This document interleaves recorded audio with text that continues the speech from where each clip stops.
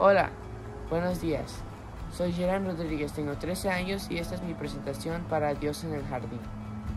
El versículo del curso es 1 Corintios 15, 36 a 38. Y lo que siembras no se vivifica sino muere antes, y lo que siembras no es el cuerpo que ha de salir, sino el grano desnudo, ya sea de trigo o, otro grano. Y, pero Dios le dio el cuerpo que él quiso, y a cada semilla su propio cuerpo. Amén. Ahora la cita inspirada. Mediante la acción de echar el grano en la tierra, el Salvador representa su sacrificio por nosotros.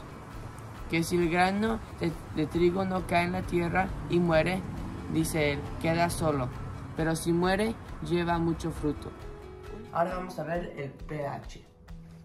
El pH es usado para determinar Um, lo acidez o lo alcalino que es um, una solución y lo vamos a usar para ver el pH de la tierra o del, um, del suelo que estamos usando para plantar nuestras plantas.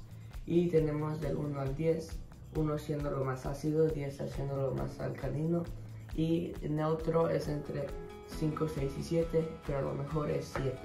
Y ahí es donde están los más nutrientes y ahí es donde debemos tener, bueno, es preferible tener la tierra aquí.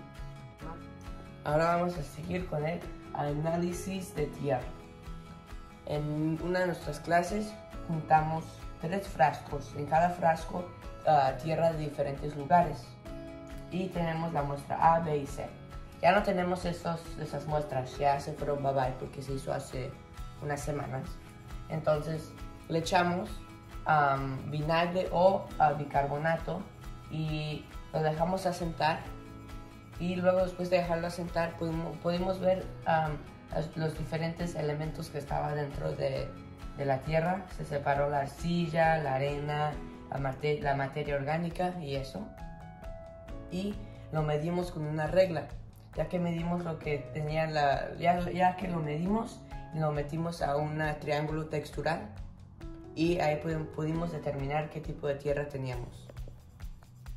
Ahora vamos a seguir con el agua oxigenada. Es muy importante que la tierra tenga microorganismos y una manera de probar eso es si, le echamos, si agarramos un puño de, de la tierra que tenemos y le echamos agua oxigenada. Si burbujeas que tiene microorganismos y esa tierra es buena para las plantas y si no, pues tiene falta de nutrientes y porque no tiene microorganismos. Almacenar semillas. Nosotros almacenamos semillas en un proyecto que hicimos de la clase. En este proyecto enjuagamos las semillas que sacamos de una sandilla y luego lo dejamos secar y luego lo almacenamos para plantar otro día. Aquí tenemos una semilla que está, ya germinó, aquí tiene su primera hojita y de esta hojita va a crecer una planta y luego le van a salir flores y de flores va a dar fruto y de fruto otras semillas van a salir y es un ciclo así. Y entonces la germinación puede tardar lo más rápido que depende de qué planta tengas, pero el rábano eh, germina muy rápido entre 3 a 5 días y hay otras plantas que se pueden tardar hasta 2 semanas.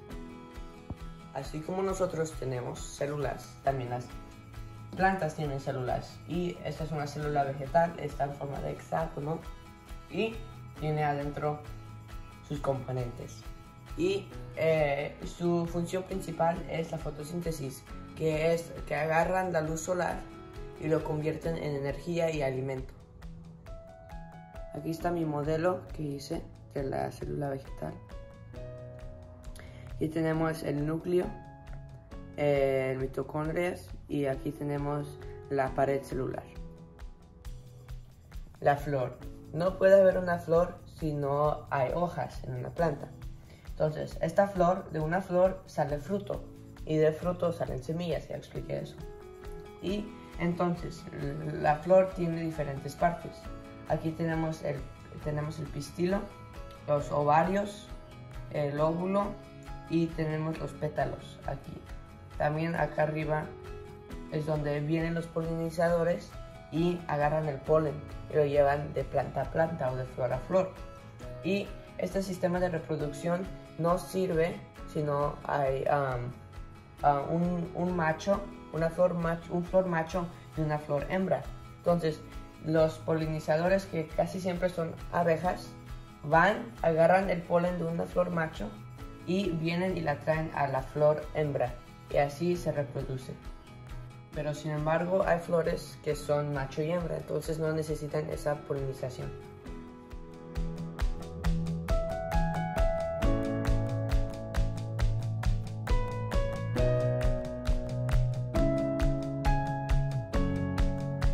Lo que más me gustó hacer este curso fue hacer el eco-print.